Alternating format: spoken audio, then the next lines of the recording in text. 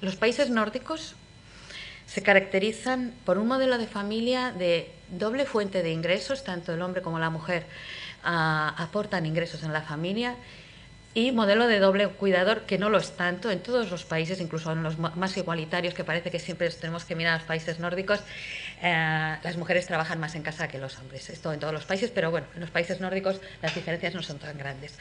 Eh, lo que caracteriza a los países nórdicos desde el punto de vista de los modelos de familia es que tienen unos eh, servicios públicos para el cuidado de las personas dependientes que son... Ah, mm, accesibles para todo el mundo y de muy buena calidad. Por tanto, se externaliza el cuidado.